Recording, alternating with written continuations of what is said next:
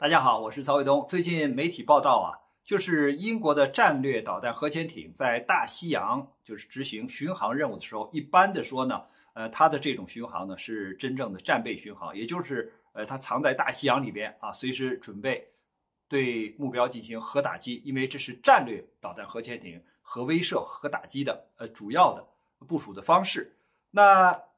在这个部署的过程中，出现了一个特殊情况，就是由于啊。它潜艇下潜的时候啊，它有个深度计，就是你在一定的安全范围内航行。一般的说，这个核潜艇它最大的啊下潜深度是三百米到五百米啊，就是一般的说，要一旦大于这个深度的话，那可能艇壳就要这个压碎了，那就是压破吧，那就是这个大量的海水就要涌进来，那这个潜艇就要沉没了。所以当它这个。就是下潜的这个深度计啊失灵的时候，就这个艇长呢还以为是在一个正常的巡航，而实际上潜艇是不断的掉深。那如果要是这样掉深下去的话，它超过了艇体所能够耐受的压力，它可能就是艇毁人亡了。后来呢，呃，其他的艇员突然发现这个速度、呃深度好像其他的仪表显示不对，就赶紧拉响警报。哎，纠正了就是不断下潜的这个潜艇，啊，避免了一起啊就是艇毁人亡的事故。那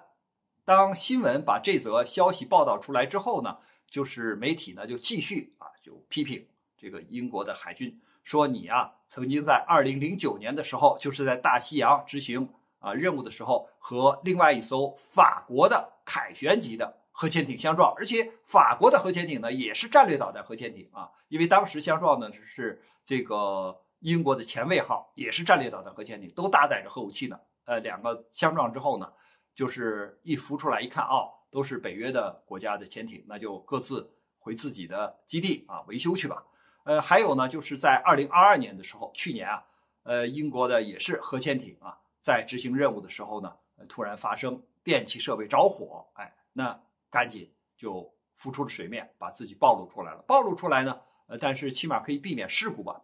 那有的人就说了，说这个英国的战略导弹核潜艇，你看事故这么多，为什么还要建造战略导弹核潜艇？把它放弃了不就完了吗？呃，可是不行，因为英国呀，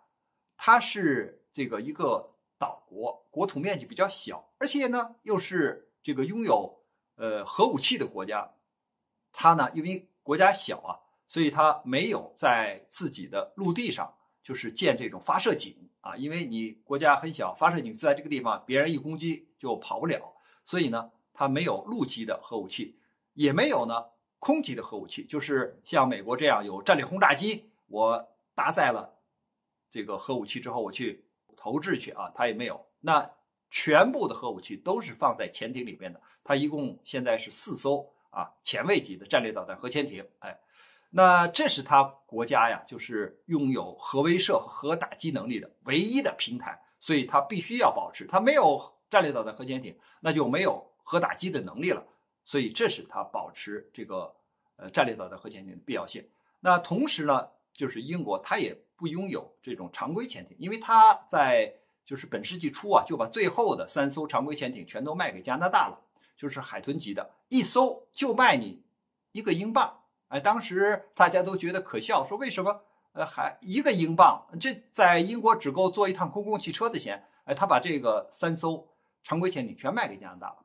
就是他认为常规潜艇航行的距离短，搭载的武器少，只能近海作战，不符合英国的这种全球抵达、快速反应，哎，这个战略核威慑的这种能力，他没有，所以他不要了。那现在为什么英国会把？就是自己战略导弹核潜艇发生的这样一个事故，公布出来呢。我认为它主要是为了就是给自己的海军增加经费，因为现在呢，就是英国呀，它的这个海军、陆军、空军都在征经费。那么还有一个呢，就是它的国防部还要向乌克兰提供大量的武器装备啊，还要筹经费。那大家在征经费的过程中，总要有理由吧？那海军就说了，我的战略导弹核潜艇是英国唯一的核打击力量。你看，过去的时候啊，就是我们由于性能啊，就是存在一定的问题，那才会和法国的核潜艇相撞啊？啊，看不见呢。还有一个呢，就是去年的时候，哎，我这个潜艇它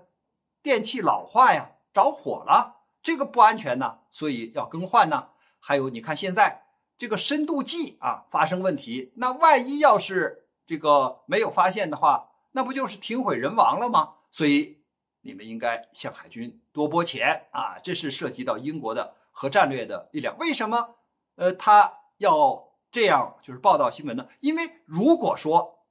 他不需要征经费，不需要外界知道，完全可以不暴露出来。因为你深度计的这个事情啊，他就是艇长和艇上的人员知道，那媒体怎么透露出来的呢？对吧？他就故意的通过媒体把这个事儿披露出来之后呢，说海军的装备老旧，说战略导弹核潜艇的能力差，所以呢，你要把经费往这儿投啊，其他的经费可以抽出来，或者是减少一些，但是这个方面的战略导弹核潜艇的经费不能。啊，抽出来或者减少，实际上呢，这个消息并不是在揭露他自己的装备不行，而是说呢，在和其他的军兵种啊争经费。关于这个话题呢，我们今天先聊到这儿，感谢大家观看本节目，我们下期节目再见。